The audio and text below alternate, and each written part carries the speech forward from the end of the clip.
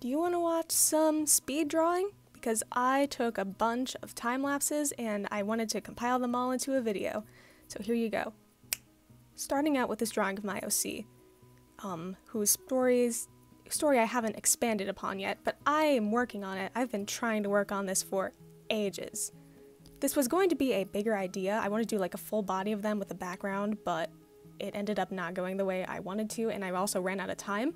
So I decided to turn this into a sketchbook page of just random ideas, which I do a lot now because I'm a college student and I don't have a lot of time or energy to put into bigger things. Then I added this little doodle of Gregory from FNAF Security Breach. This drawing is a good example of like how much my style can differ because like there's this really good headshot on one side and then you just have him on the other. Also, you're gonna see in a second that I like to only draw on one side of pages and I use the blank side to like test colors. See right there to see what works, what matches with the color palette. I'm not using a reference here, by the way. I forgot to. so that's all from memory. Usually when pages end up like this, I try to fill them up so they're not like just blank staring me in the face. Usually I'll put one thing in every four corners, or, and if not, like in this case, I'll just put them wherever there's room. So this little mermaid character who I also haven't expanded the story of. She's existed for like three years now and I still don't even have a name for her. Man, I have got to get better at story writing.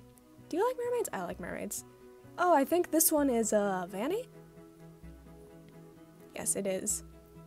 I erased this a lot. That's another thing about sketchbook pages like this. They can be messy as heck. This, of course, I was posting to YouTube as well, so I didn't want them to be super duper messy. Huh, excuse me. But it's okay if things don't look 100% polished because if you're just sketching things out, practicing, they're not supposed to. Also, I was using a tripod to try and get this to look presentable, and it did not want to cooperate with me. So this is divided into multiple takes. And then you've got a little Chansey that needs to be colored. I also really like Pokemon now. And in a second, we will be done. This is what a typical finished page of mine looks like. You can see still photos of these on my Instagram, at Storyline Sings. And if I flip through a little bit here, you can see some of the pages of bigger things that I have done. Once again, check the Instagram. Alright, bye.